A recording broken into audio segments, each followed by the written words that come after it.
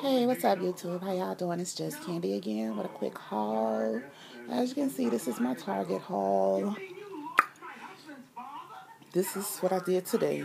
Um, I actually got the little small ones at the last store.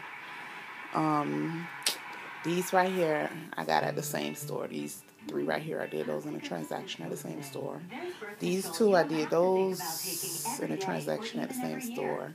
And I found these two small ones this morning, which was the last two the store had. So, let me see if I can go over my receipt. The Nivea creams, two of them was 173 The lotion was 494 minus the $1 coupon. I gave them the gift card $5. My total was 572 plus tax. Gave them a $5 gift card. I paid 85 cents out of pocket. That went the same with both of them. Um, the reason that it's not a money maker for me is because the coupon, the $2 coupon, it was regional, and we only got a dollar coupon. So I ordered some. Hopefully they'll be here tomorrow. Okay, um, with this, let me see. Okay, the hand cream was 422 Then the two Nivea small ones was 192 Um, I gave him a gift card. My total was 114 614 I gave him a $5 gift card. And I paid 121 Um, I think the same thing happened over here. Let me see. Yeah, same thing happened there. Okay. And let me tell you what happened with this one.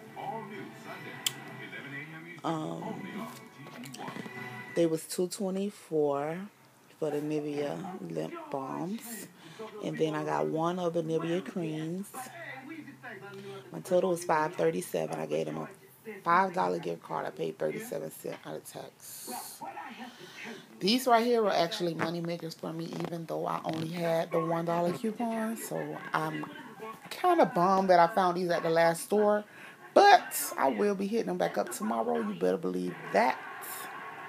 So the total for the Nivea cream, two of them was 192 The Nivea lotion right there was 359 minus the dollar off coupon. My total was 451 um, I had a $5 gift card. Um, they scanned it. It took out $4.51. And I had change left on the gift card. So that's how that happened. And I did it again over here. Same thing, same thing. 192 359 minus the $1 coupon, 451 455 with tax. Scan my card, 45 cents. The had I had the remaining 45 cents on it from the other card. And then the new card I got, I scanned that for the remaining balance. So that's what happened.